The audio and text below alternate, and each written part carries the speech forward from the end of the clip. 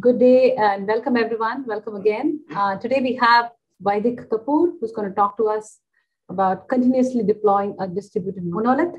Over to you. Um, hi everyone. Thanks a lot for making it to the to the talk. I know it's 9 a.m. It's a Saturday morning, uh, but yeah, really appreciate your uh, participation and uh, I hope to make it worth your while today.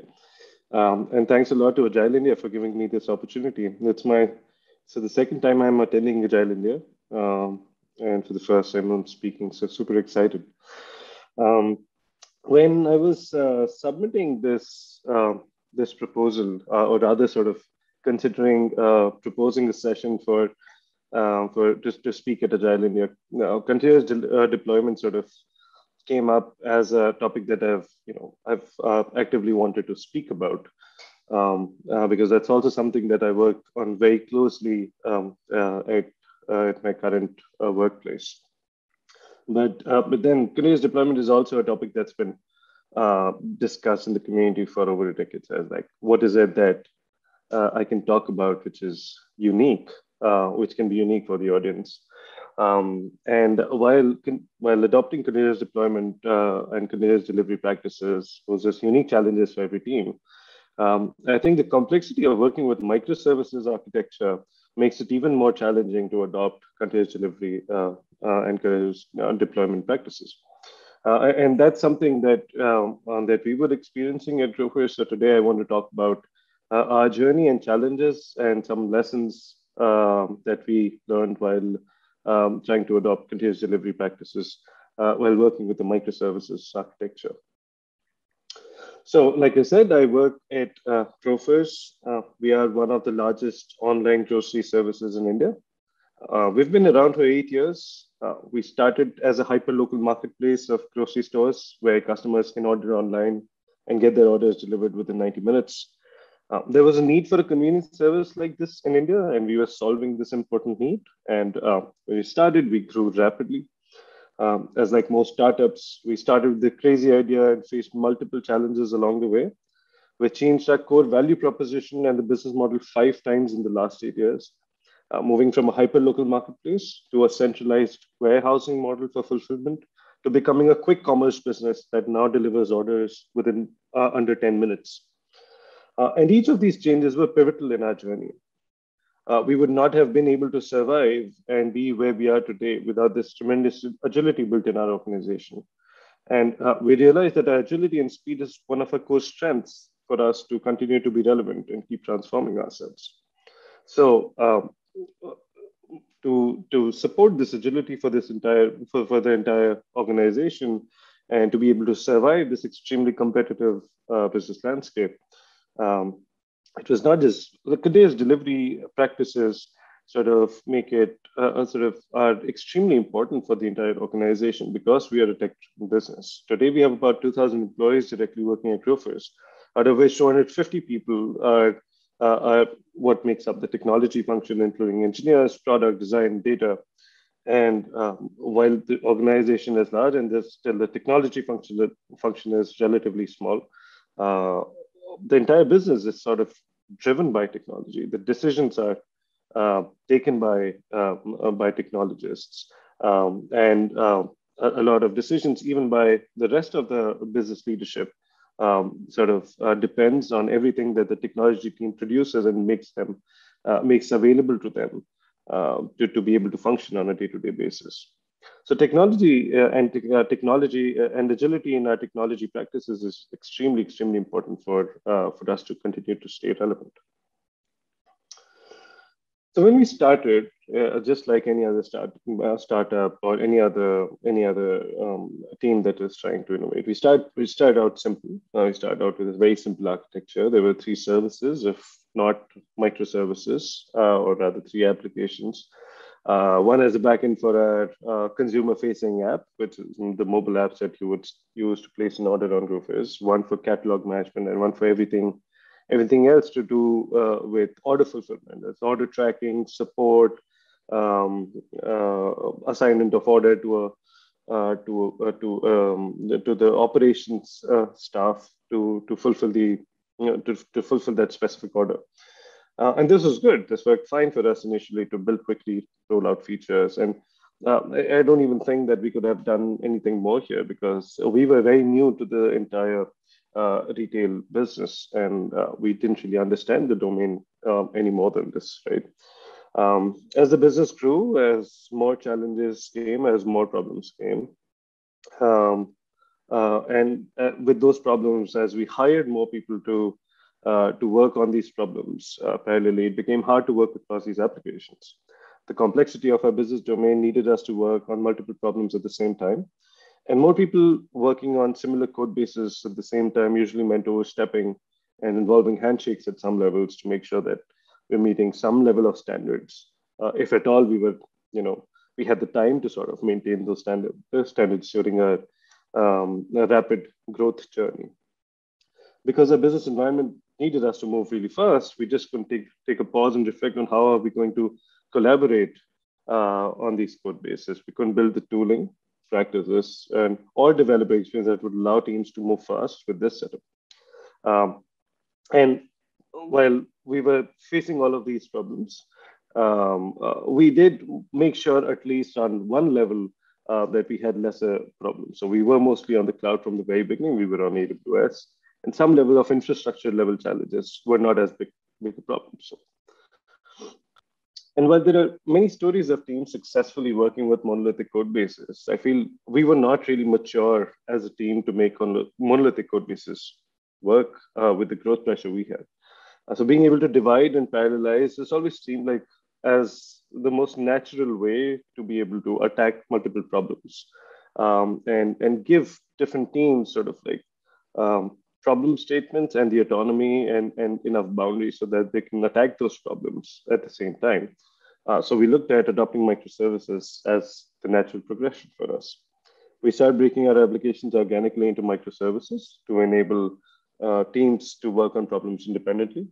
Every time we could see a new problem that would be independently, uh, that could be independently worked by a team in a domain without dealing with the complexity and chaos of our existing code bases that we'd started out with or started off with, uh, we would spin off a new microservice. And, uh, and, and just like that, teams started spinning off new microservices and they'll choose their own stack to attack the specific problem at hand. So uh, the, the mandate largely was solid. Use whatever you feel like is the right, right tool for solving a particular problem. And to make our teams truly autonomous, we felt like it, we felt it was vital for agility that we give our teams ownership of systems end to end. So it was not just the applications, we, we also wanted our teams to own the infrastructure and the entire delivery process end to end.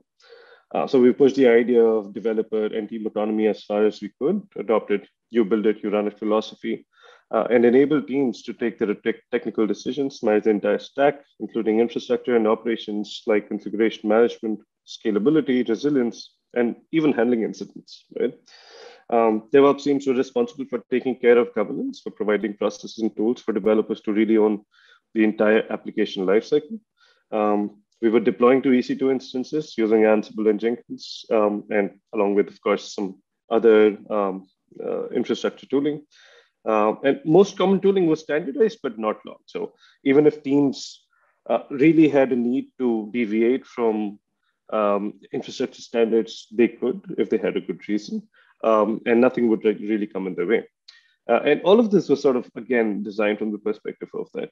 We were going through our growth journey, and we didn't really want technology decisions to come in, in the way of chasing that growth. So all this worked really well, or at least that's what we believed that was happening, that it, it worked really well. But in early 2018, we realized that we had an illusion of agility teams uh, were working independently on their microservices, uh, deploying multiple times a day, uh, but there were not enough guardrails for quality. Uh, we were creating waste and shipping poor quality products that were frustrating customers, internal users, and management.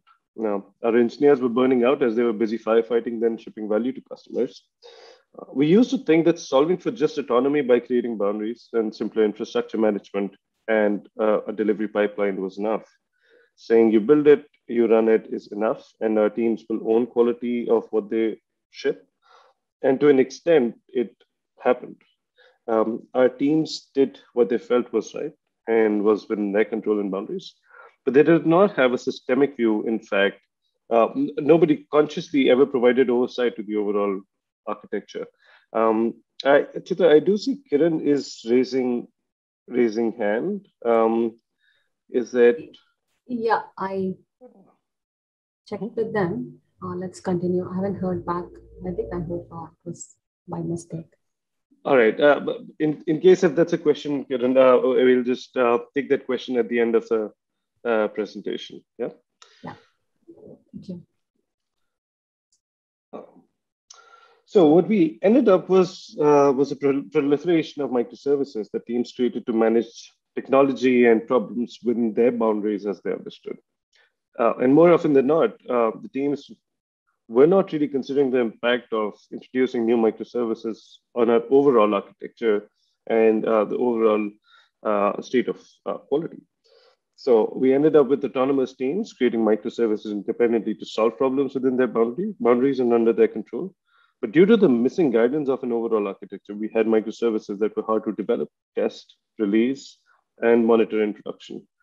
In many cases, the boundaries were not even clear that were leading to slow development cycles and releases. Our quality feedback loops were extremely poor, so poor that we were mostly getting to know about bugs from customers, customer support, and sometimes directly from the CEO. Um, so this was actually unacceptable. And on top of that, we ended up with an extremely diverse tech stack. The slide doesn't even capture the entire picture because it is not easy, honestly, to list out everything.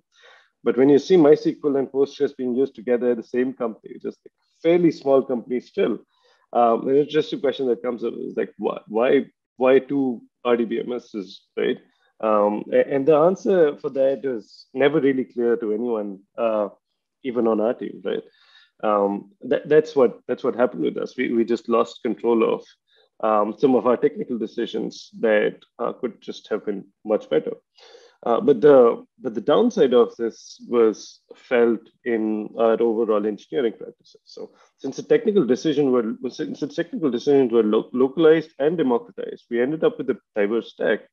Anything that you name, you would we would have it. Um, we, we, were using all the modern technologies, uh, but the diversity poses the challenge of lack of standardization and benefiting from economies of scale. Um, every tech stack required a unique way of thinking about continuous delivery, which made the journey a lot more painful. And uh, the lack, uh, the, the presence, the clear, evident uh, uh presence of uh, delivery pressure to chase our growth, sort of also did not really create enough room for teams with choosing this these um, different kinds of diverse stacks to be able to figure out how are they going to um, continuously deploy their applications. So retrospectively, no matter what we think, it felt pretty empowering though. Uh, uh, the teams were empowered. We have a say if we have a new problem, we find the right place to write code for it, mostly, um, or we create a new microservice so that the right team can attack the problem independently. And for engineers, it was it was awesome. Like uh, it meant having the freedom to be of being able to try new things. If it doesn't work, well, change it. Uh, right? That's that's what microservices allow you to do. Uh, but yeah, I mean, it's a different thing that going back and changing the decisions can be a, and was always really hard. The worst was that it took us a lot of time to figure out what was wrong. Um, when we realized that quality was an issue for us, immediately we created organizational focus uh, on improving quality. The entire technology leadership was driving quality as an agenda. Our engineering teams were excited about improving quality. Uh, writing tests was largely believed as the debt that we must have paid off already. Um, so our teams uh, uh, were not even hesitant in taking up as a goal of improving test coverage. Um, we take up OKRs, we take up sometimes uh, uh, monthly goals or whatever have you. And uh, those goals would be aligned, aligned towards improving test coverage. But even with all the organizational support and alignment, we couldn't make any meaningful progress none of the teams could achieve their goals, and we failed quarter after quarter. And this was just something that we could not understand with all the intent from leadership and the teams. What was stopping us um, from meaningfully making progress? Uh, so our teams were not able to navigate the way to improve quality in a meaningful way in our architecture. Writing tests didn't, didn't really seem to add meaningful value, uh, or uh, more specifically, the way we were we were adding tests or the kind of tests we were adding. A lack of technical oversight um, uh, made this microservices architecture complex. And I think on top of it, a lack of uh, a clear testing strategy uh, didn't really yield any uh, clear results.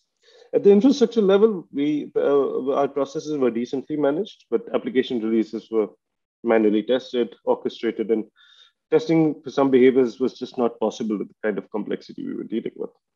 When we would try to approach testing microservices, we would not be able to make any meaningful progress as testing one service, one microservice was never really enough to test out the behaviors um, that were that the customer cared about.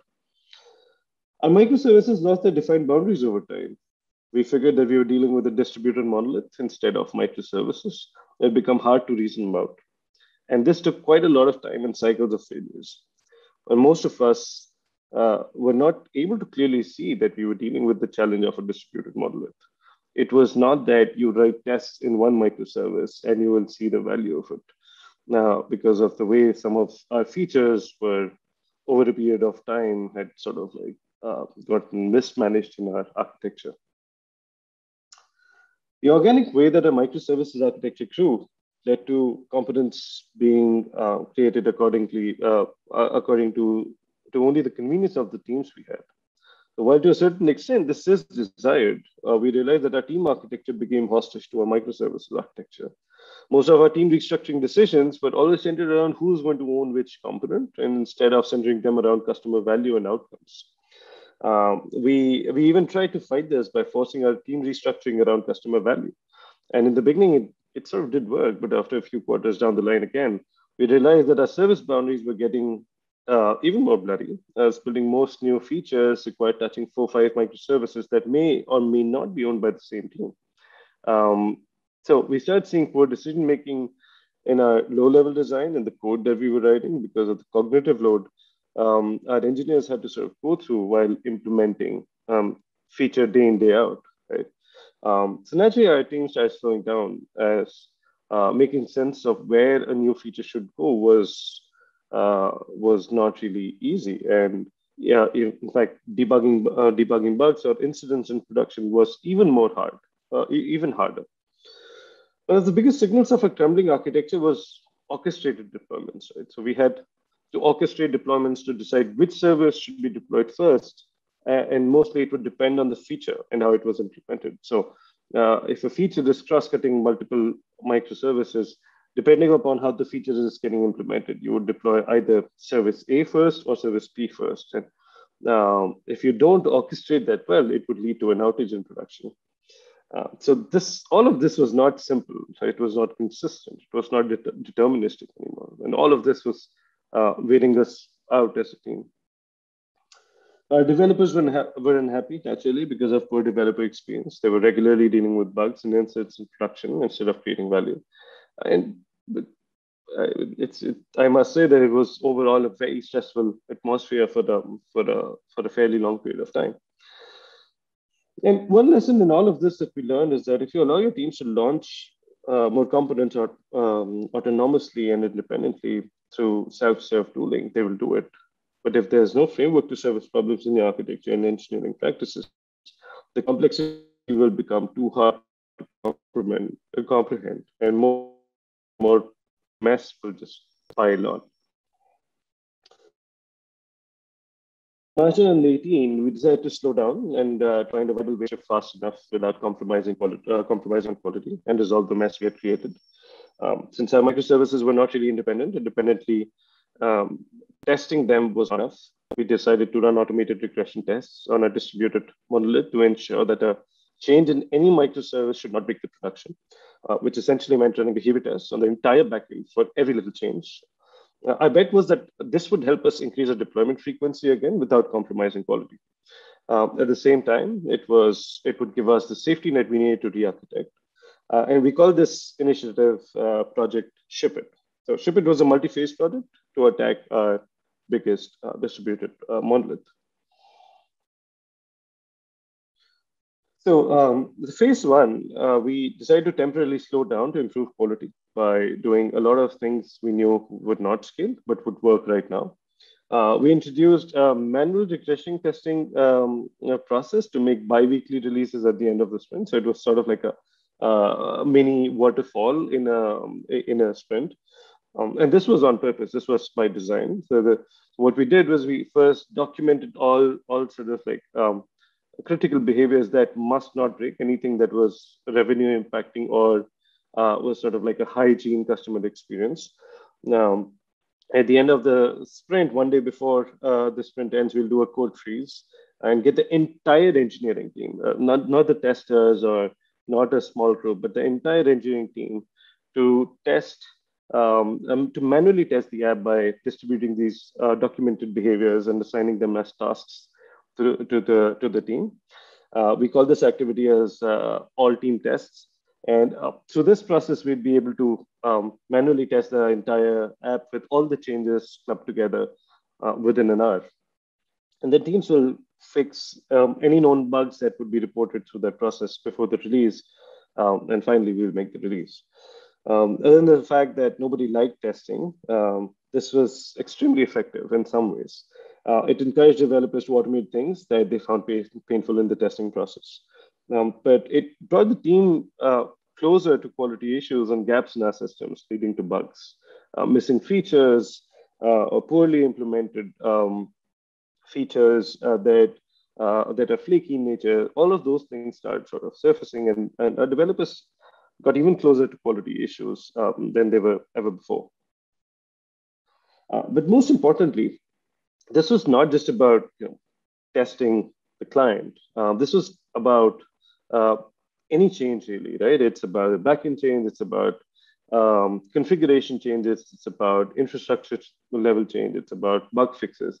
So we we started treating any change anyway that was uh, that was related vertically related to our distributed monolith. Um, this definitely slowed us down, but it helped us cover every little change that would unknowingly break production in some way. Uh, and like I said, we did things that didn't scale.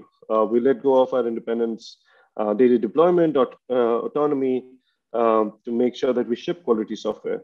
Uh, we ran fundamentally the same process, but in different flavors for a while. Uh, and wherever we encountered new bottlenecks that, uh, that could be optimized in the short term. For example, after a few iterations, we had to allow some teams to ship trivial um, cosmetic changes without waiting for the entire sprint cycle. Uh, and while this process didn't well this process worked uh, and but it didn't really scale uh, we knew that we could run with this for a while and make it less painful right? So uh, we were still not ready, to go back to developing and releasing microservices independently. So we had to continue to look at our backend as a distributed monolith uh, and test it the same way irrespective of how small the change is. So so the phase two was all about making phase one less painful and uh, by, by speeding things up and automating things. Um, so we decided to automate all our behavior tests by, um, and we tasked the central team to sort of do that um, and build ephemeral test environments for running tests on demand on, on every change. So if you create a pull request on any of the microservices, um, that should actually spin up the entire um, backend and run these end-to-end uh, behavioral tests. So building the CI experience that enables 100 developers to ship simultaneously um, we thought was not as complicated a problem, but it turned out to be a pretty complicated problem. Uh, the first complicated problem was, well, being able to provision and maintain a reliable test environment of, um, of about 18 microservices with their SQL and NoSQL databases, queue servers on demand where tests can be run. Uh, synchronizing state using data fixtures and keeping them up to date was another big challenge that in many ways we don't have a clear answer to even today. Um, so phase two was was a really long phase for us. Right? Uh, we started experimenting with Docker and Docker Compose to create these ephemeral environments uh, in Feb 2018. In about a month's time, we could orchestrate a complex backend and run, run tests over it. Um, so there was some value coming out of it, but it was all too slow and unstable for any real use. We continued to sort of like make efforts to stabilize um, the, the, the, automation and the, the, tooling to provision the entire backend uh, to some acceptable level of stability to give us to give us the push um, until we realized that we had a new problem at hand, uh, which is dev prod disparity. Yeah. We, we were using Ansible to deploy to production, uh, but Docker Compose in our test environments. And this led to test passing during CI runs, but deployments causing outages and bugs in production. Uh, finally, in September 2018, we realized that our tooling is not going to work. Our strategy was not right with Docker Compose. Uh, we were building container orchestration that was built for local development, and we could never really use the same thing in production. So we needed something that was built for production, and the industry's momentum was towards Kubernetes. So that's where we decided to go as well. Uh, by January 2019, we had a few, we put a few critical services in production to prove scale and uh, our implementation of Kubernetes. Finally, by the March 2019, we started migrating away from Docker Compose based CI setup and also started migrating those services hand in hand to, uh, to production to make sure that we have dev prod parity. Um, well, this helped us with uh, achieving dev prod parity. It also helped us streamlining uh, local dev experience that I'll, I'll talk about briefly uh, uh, and we got some solid outcomes, right? So we could deploy a lot more regularly without worrying that core functionality would break. Outages due to deployments got reduced significantly. Developers could ship features much faster uh, to do much lesser work. We let go of that mini um, mini uh, waterfall within our sprints and sort of uh, move back to deploying every day. Uh, we reduced burnout, improved the momentum to ship and innovate. There was always clear visibility of what changed in production and if that change was the source of something breaking, uh, we could we could easily go back and revert. Um, for our distributed monolith, we could even look at incident management and quality process in a centralized way this way. Um, and this immediately provided some baseline consistency for all teams working on, on the entire backend, right? Um, we were also able to achieve some, some of our architecture improvement objectives, uh, leading to a simpler and more performant backend we deprecated some legacy micro, uh, services and add some new microservices, which helped us reduce overall complexity.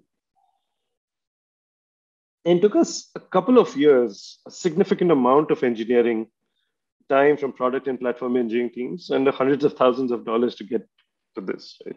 Uh, not to forget the cost of migration uh, to Kubernetes was not uh, was not less in any way as well.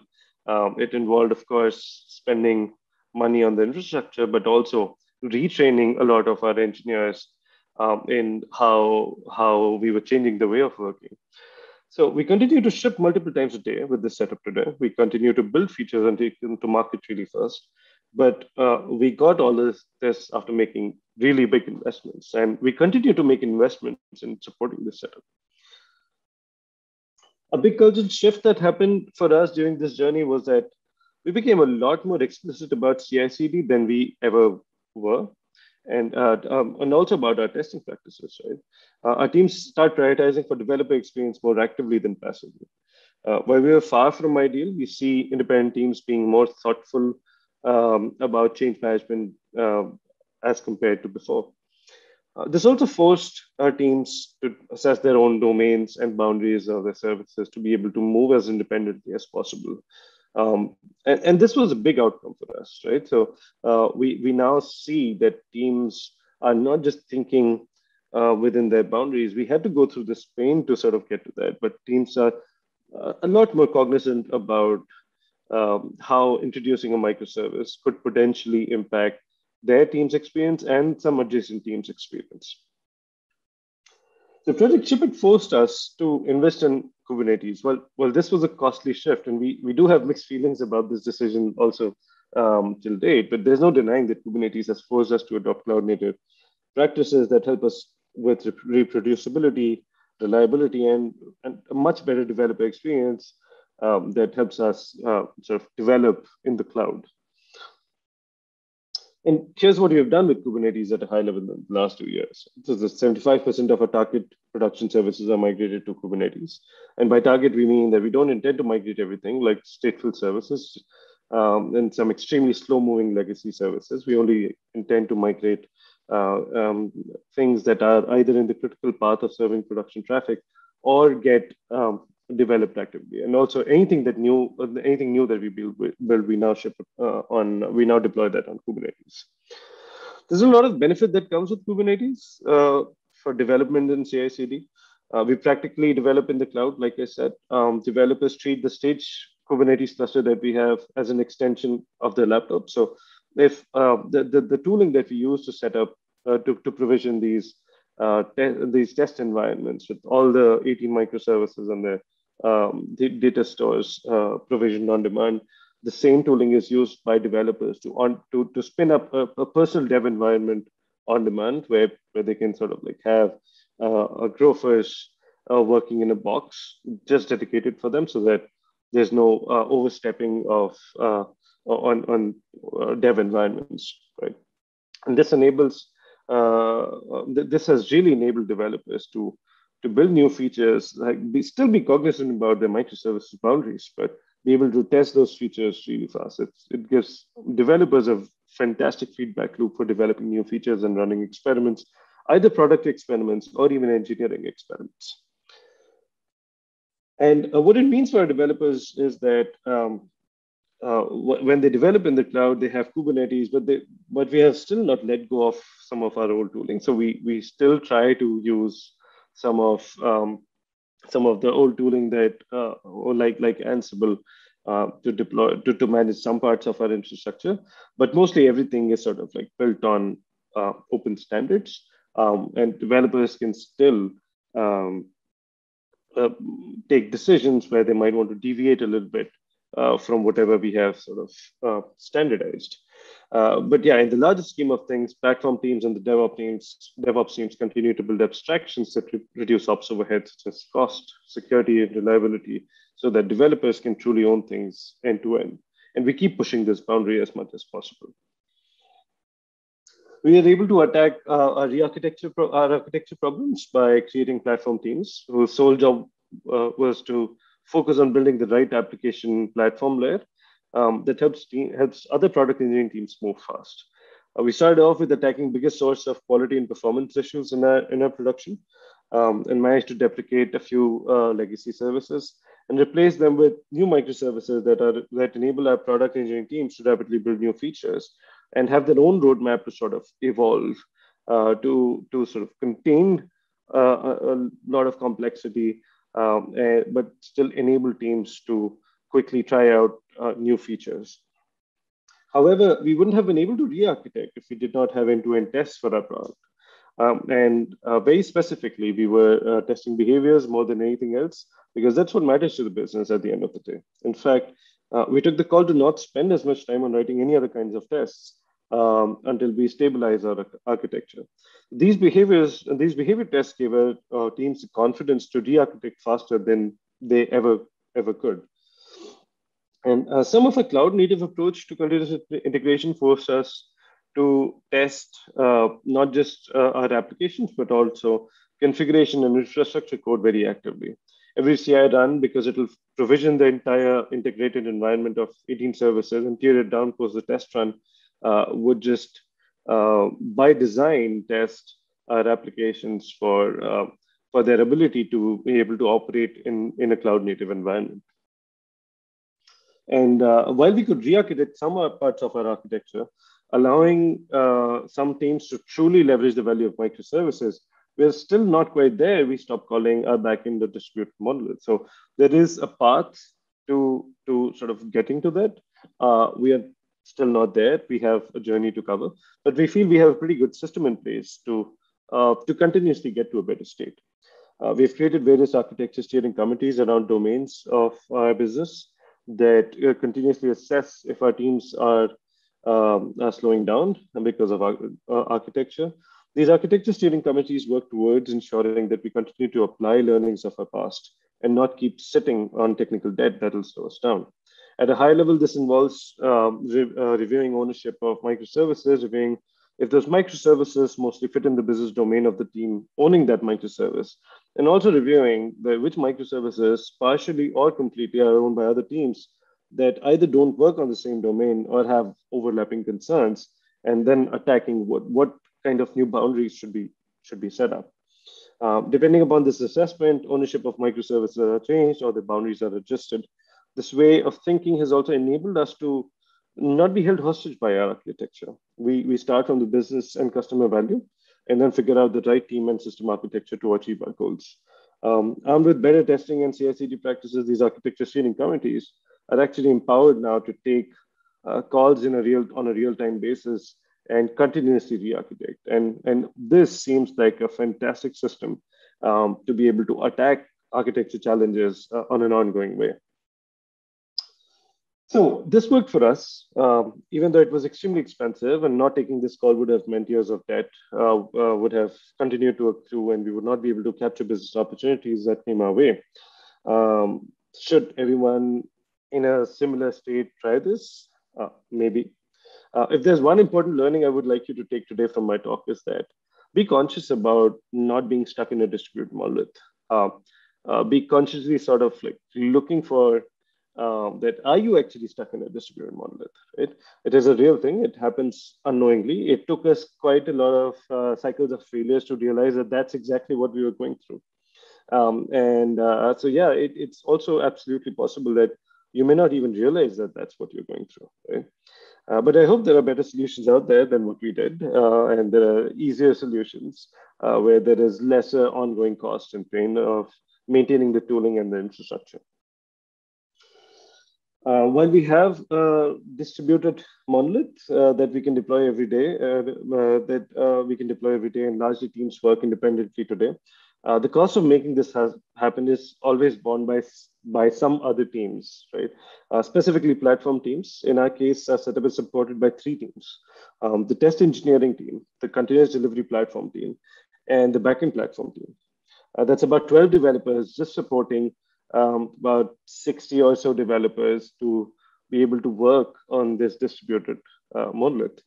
Uh, these teams collaborate continuously to make sure that the end-to-end CI experience, CI/CD experience never breaks, or else nobody will be able to make any any changes in production. Um, and so this involves automating the right end-to-end behavior tests, improving CI/CD pipeline uh, setup, uh, making sure that the pipelines are reliable, modernizing our infrastructure, and of course handling unique failures that happen in the cloud every day. Uh, an example of this is we spent and uh, continue to spend a large amount of time in just dealing with creating the right data fixtures for all important features to reliably work.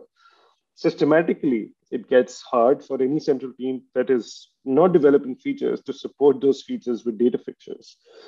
Um, and one team builds the features while another maintains the data fixtures for some some for the same features. This is just something that that does not that's not going to really scale. Hi, Vaidik. So uh, is, Chitra here. Just a quick time check. We have five more minutes. Um, yeah. Yeah. Sure. Perfect. Yeah. Um, so, so, this question is is um, so the question is um, not if the problem can be solved. The question is like how long will you get to your ideal state, um, and the complexity of this tooling. Um, it will keep operating operating it every day is going to be consistently is going to be challenging it's going to take a lot of effort.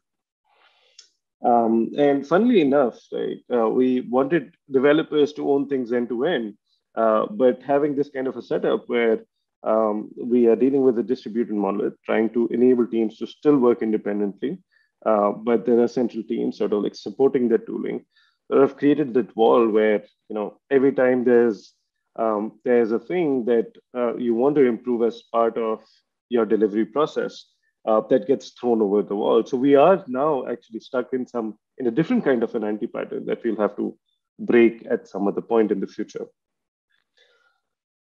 Um, controlling complexity becomes really hard uh, in the sense that uh, an interesting challenge that we are dealing with is that this tooling is useful. This process of working is actually useful for us. Um, and it, in some ways, it gets infectious. So every time a, a new microservice sort of comes up, our team actually, our, our engineering teams actually want to use the same tooling um, to, to deploy things in production.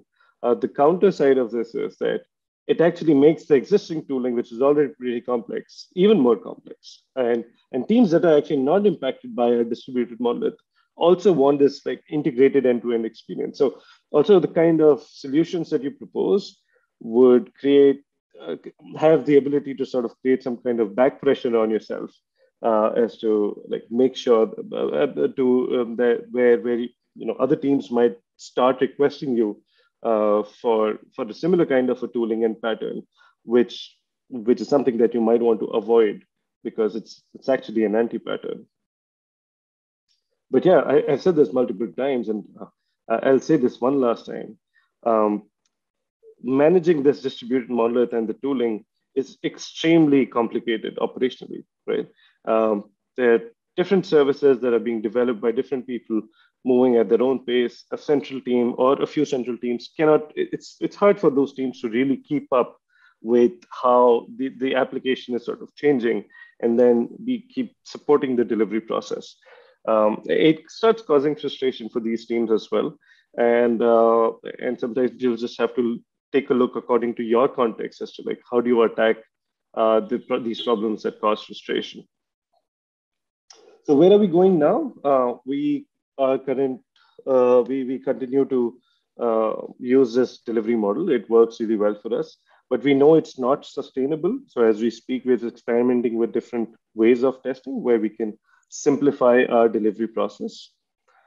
Um, and we are careful of, uh, we, we mostly, what we have learned about this is that we don't, we are careful about not making the same mistakes again. So we are cognizant about um, the microservices that we introduce uh, so that um, the way we introduce them, the boundaries are well managed. Um, but yeah, I think one of the things that we did in this process was that we, we are still invested in microservices. And um, a lot of uh, our scaling strategy of microservices and DevOps practices has that build a good DevOps platform that enables teams to adopt DevOps practices the right way. Um, we call it our DevOps platform built on top of Kubernetes. So Kubernetes is the platform of our choice, where we sort of like uh, uh, are trying to bake pretty much everything in the platform from CI/CD, reliability, resilience, um, observability into the platform, so that all of those these things become easier for developers to adopt. Uh, we already have this platform in place, which keeps on, which continues to evolve, and uh, we're basically trying to strengthen our, um, uh, our, our capabilities here, so that developers don't have to take active decisions uh, in in adopting the right practices. And um, so, yeah, we have a multi-year roadmap for our DevOps platform. Uh, we are, like I said, we're trying to simplify uh, the platform for developers so that they can keep still moving fast, uh, but um, not be held by um, by you know the decision of adopting which practices while being able to while trading off with with moving fast in our business context. And yeah, that was that was our journey. Uh, my name is Vaidik. I work at Grofers. You can find me on Twitter, LinkedIn, and Medium. Amazing, Vaidik. It was very intriguing session. It was lovely to hear Grofers' story. Thank you all. You were a lovely set of audience, and thank you so much for these insights, Vaidik.